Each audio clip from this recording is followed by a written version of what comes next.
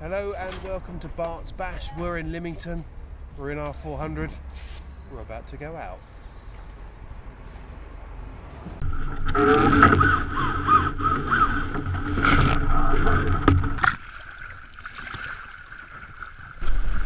Hello, I'm Matt Sheahan. This is Ellie Sheahan. We're in our RS 400 and we're doing Bart's Bash here in Lymington. It's a light breeze, lots of boats out. It's going to be another great day. Why are we doing Bart's Bash? Why wouldn't you for a start?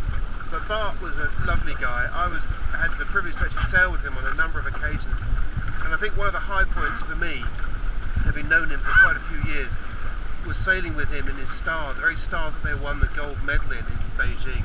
That was an amazing moment. But he was a lovely guy, he was a great guy to sail with, and as everybody says and will continue to say, this is the kind of thing he'd absolutely love. We're certainly going to.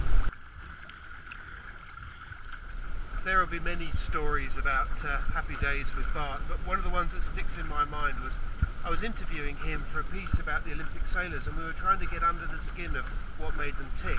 And one of the standard questions was, What's your favourite non sailing item? And he instantly said, Knife and fork. He's a man after my own heart.